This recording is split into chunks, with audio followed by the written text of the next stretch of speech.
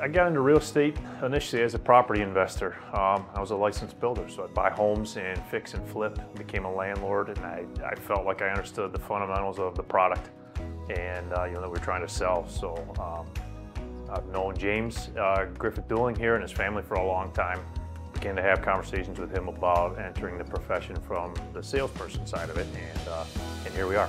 Favorite thing about real estate uh, is the people, without a doubt. It's easy for me. Um, uh, I'm fortunate to know a lot of the people that I help service on both the buyer and seller side, and uh, it means the world to me. I try to put myself in their shoes and handle the transaction uh, as if it were my own, and so that's uh, that brings me genuine genuine joy. To reach me, very simple. You can call or text me anytime, 734-845-0680.